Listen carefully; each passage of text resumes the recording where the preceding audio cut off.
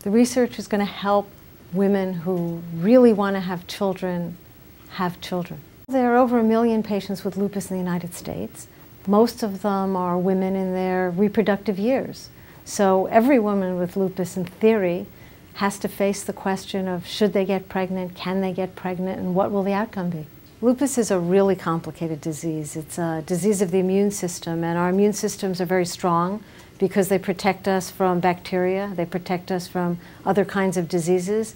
And when the immune system turns against the self and damages the organs, you can have a lot of problems and be very sick. The study was huge. We recruited 333 patients. We had nine sites in North America. We had 20 investigators, some who saw patients, some who analyzed samples, some who collected data. Um, and we've been doing this for eight years. And what we learned was if mothers conceive, if you have lupus and you conceive at a time when your disease isn't flaring, everything can go really well. The research is so important because it's taught us that women with lupus who thought they couldn't have babies can have babies and can have healthy pregnancies. The people most impacted directly by this study are women with lupus, but by extension, it's their husbands, it's the children that are born healthy, it's their mothers, it's their fathers.